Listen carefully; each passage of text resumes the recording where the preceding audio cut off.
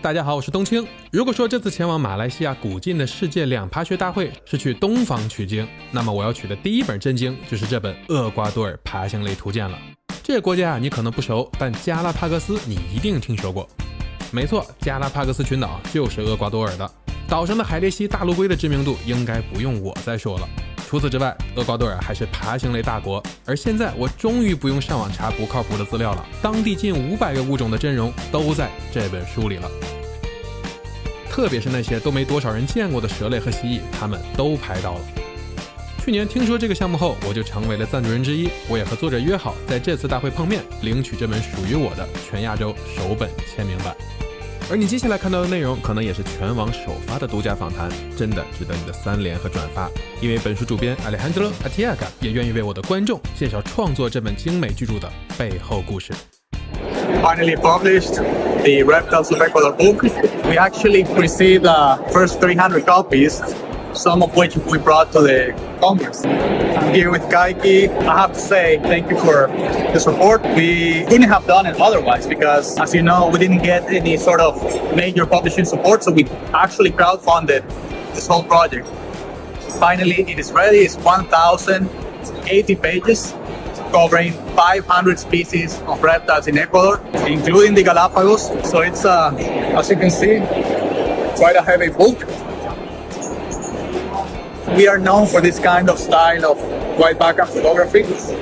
And not many people know the amount of effort that goes into producing each and every one of these uh, illustrations.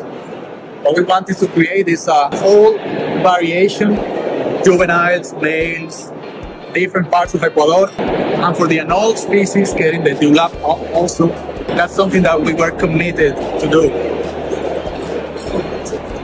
course, we have all the maps.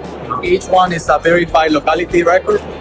So we are really we're happy that it's finally uh, it's finally out. It took uh, many years of hard work, as you know. Now finally exists in physical form. So yeah, uh, super happy moment, really. And what best place in the world, World Congress of Herpetology, to promote this book. Could you tell me about some difficulties when you're writing this book? Many. Okay, so let me think. I would say that the finding some of the most difficult species took a lot of effort. Let me give you an example. So uh, this is the emerald tree boa. I have spent 14 years, no, almost 20 years exploring the jungles of the Amazon. I have never seen this species, the emerald tree boa. So rare. Lives 40 meters up in the canopy. Never so how do we find photograph these, for example, is here in the case of this one, someone called us. These were photographed in a zoo in another country. So sometimes you have to, you just don't find them. The pink iguana expedition was the most expensive expedition. So it took an entire, an entire crew of people going to this remote island, trying to find this animal going by boat, getting the permits, hiking for three days to get this picture. This is where it lives. One volcano, which is active. A couple hundred individuals. We were extremely lucky to find some of these. So yeah, that, that was hard. If you ask me, every species has a different challenge. Getting the permits was hard. Getting each and every one of the animals in the exact same position was also a challenge. The Pinocchio is, it was believed to be extinct for 50 years. We rediscovered the population in Mindo, then we now we, we, we haven't. So it's uh, the book itself as a project uh, is made it possible to find many species that were not extinct. Other are new species, so it's a life project. I have to say. So you can imagine this project being like uh, finding all the Pokemon. Some of the rare ones, we had to do like 10, 12 expeditions, all failed. And on the 13, we find it. So many of us, for example, my friend Jose, let me show you. oh, you know every page. oh, yes. I actually want to show you the turtles. Uh-huh. Because, um, let's see. My friend Jose almost lost his life for taking a specific picture. Actually, Mata Mata, he almost drowned finding this animal. He saw it in a river and um, he went into it. It was big, yeah, big river, Amazon River. He saw the turtle swimming, launched. He tried to get the turtle out, but the turtle had a fishing hook, hook line. Something was dragging the turtle. And he was trying to get the turtle out while swimming. The turtle like this. He went out of breath. And the boat was far away because there's a strong current. The way he, he, he did it is basically he just wanted he put the turtle on top of him. You may ask why we do this, why risk your life for a turtle, for a picture, but I don't know when you are so focused on getting the, the photos or getting the book complete, you forget about everything else. With the coral snakes in particular, we have some cool stories because these are the coral snakes. Mostly farmers. Yeah, highly venomous uh, snakes in Ecuador. Sometimes when you see one of these, and you might see once every 10 years.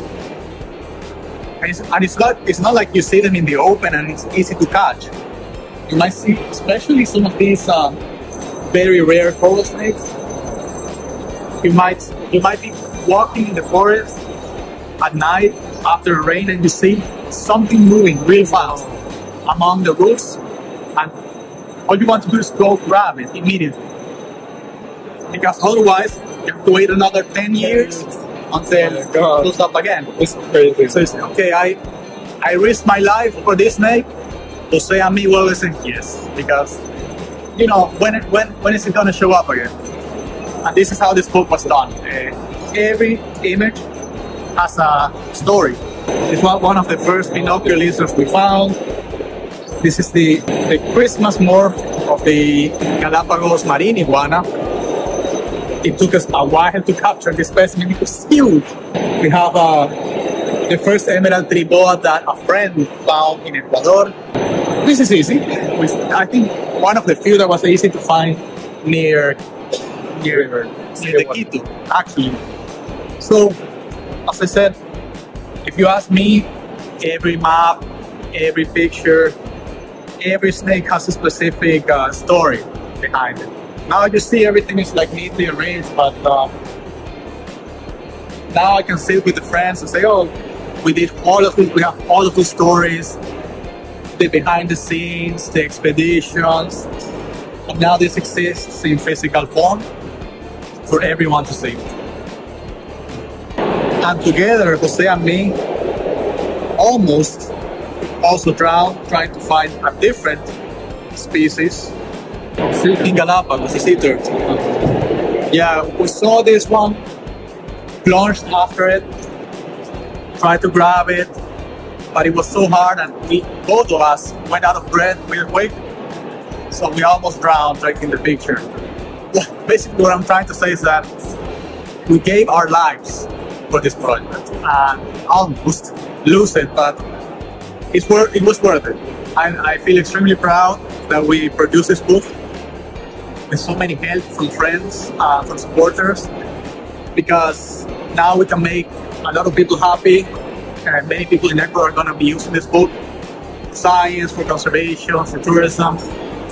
And it gives me enormous pleasure to be able to finally say that it's finished, complete. Congratulations. Thank you. Thank you. 好，感谢 Alejandro 的慷慨分享。感兴趣的观众可以尝试通过他们的官网购买。实在买不到的话，也欢迎你购买屏幕框下的蛇类和蛙类博物馆来解馋，这里也有很多厄瓜多尔的物种。